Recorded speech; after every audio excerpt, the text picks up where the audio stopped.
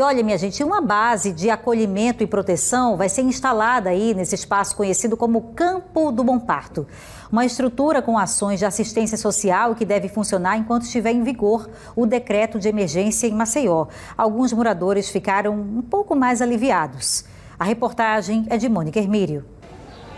No Bom Parto, onde muitas pessoas ainda temem o colapso e preferiam não ter que deixar suas casas, ainda paira a insegurança e a incerteza.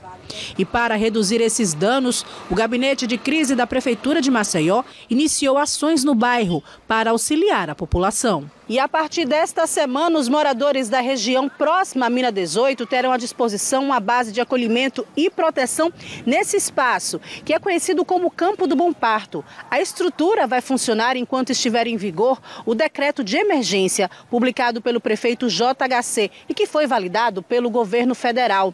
O atendimento será das 8 horas da manhã até as 8 horas da noite, de segunda a sexta. E nesse espaço, a população vai poder contar com ações de assistência social, saúde, assistência psicológica, biblioteca móvel, saúde animal, atendimento à mulher e orientações sobre a defesa civil. A estrutura já está sendo montada e ver essa movimentação já deixa a dona Giovânia mais tranquila. Nós, moradores aqui do Bom Parto, principalmente aqui da Rua do Campo, é muito viável.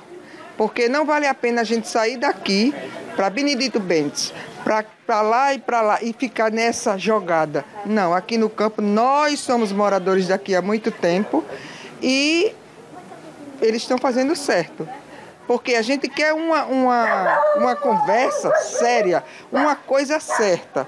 Porque tem muita gente acamado, tem muita criança também que mora aqui e não vai se adaptar dentro de um colégio, junto com outras pessoas.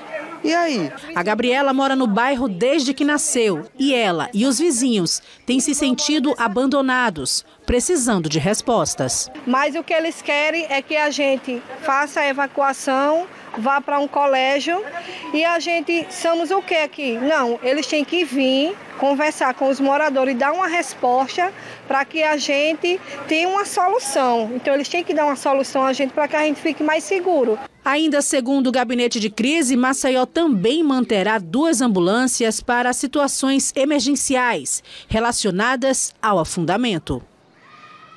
Então, essa moradora agora falou tudo, né? Eles têm que vir aqui explicar, dar uma resposta e uma solução definitiva. Porque, embora esse campo aí esteja sendo usado de forma paliativa para ajudar as pessoas, não é para sempre, né? Não é para sempre que eles vão estar tá aí com esses caminhões. Uma hora, toda essa estrutura aí vai embora, quando esse decreto de emergência terminar. Então, e depois? Como é que fica a vida dessa população? Que vai continuar com as mesmas carências e as mesmas necessidades. Ganharam tempo, estão assistindo como podem, de maneira emergencial, como diz o nome, mas é uma medida paliativa, vale lembrar, né? Não é solução definitiva para nada.